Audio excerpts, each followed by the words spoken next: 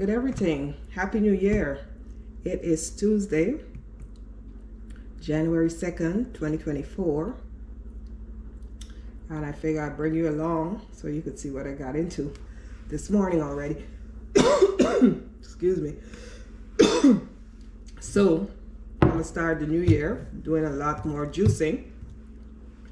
And in this bottle, I have some cucumbers, ginger, green apple, celery, cilantro, parsley, uh, cayenne pepper, and some water.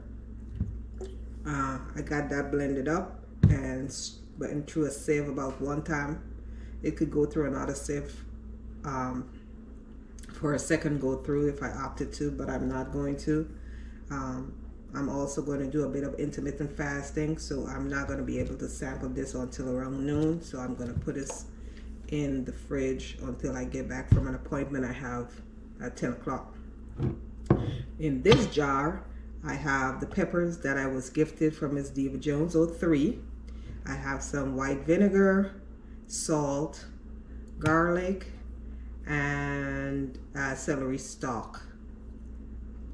So that's why I'm coughing because this is whew, hot.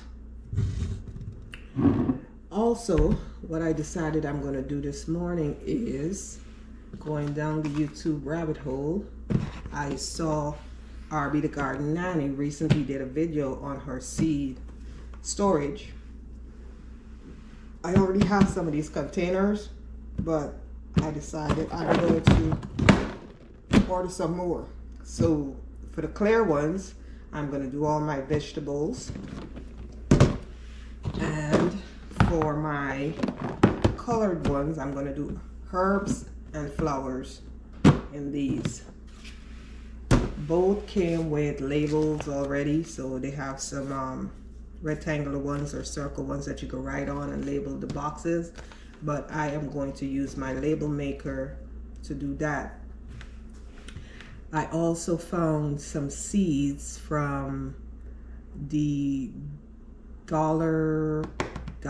dollar.co I think dollarseeds.com. I saw it on Containing My Gardens YouTube channel. Um, I have them in my cart. I haven't checked them out as yet, so they're obviously not here yet.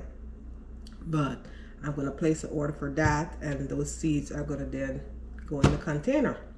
So, that being said, let's see what we could get into today. All right, so it is now uh, 12, thir correction, 12.53. Got back from my appointment and I got started on these seeds. So let me show you what I got going on. This is gonna be for the market garden with all of the pumpkins and the gourds and so on and so forth. So these are the seeds that were left over from last season. I have some gourds here and some extra of these white containers. So that's going to be strictly market garden. This is going to be herbs and flowers. And so far, I have everything labeled. I have basil, chives, cilantro, dill, oregano, sage, thyme, and parsley. And these are also leftover seeds from last season. On this side, I have some of the marigold seeds from what I planted.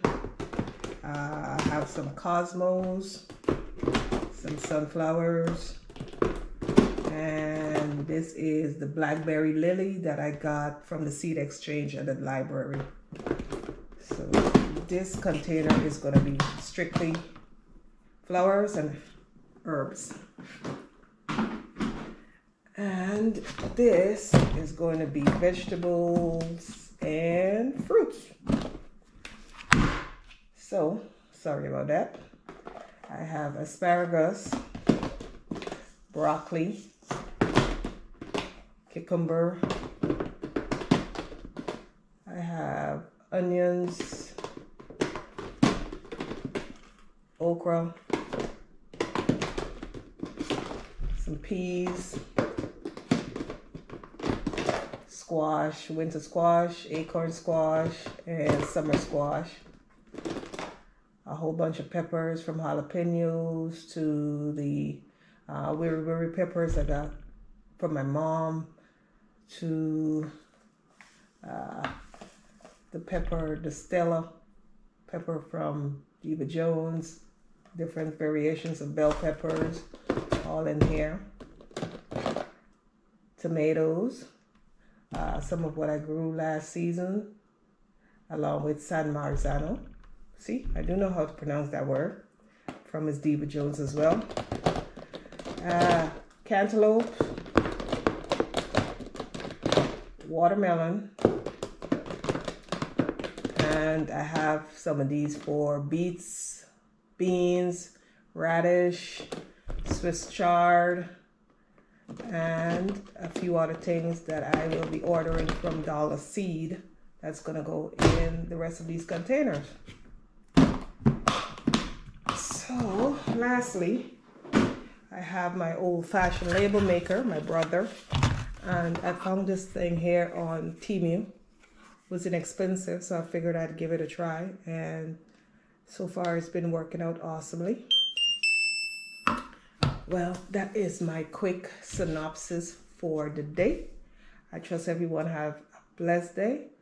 Thanks for stopping by, and I will catch you on the next one. We are currently at 35 degrees, and we're going up to 47. It's sunny outside. I released the Krakens, giving everybody some fresh air. And I'll talk to you later. Bye bye.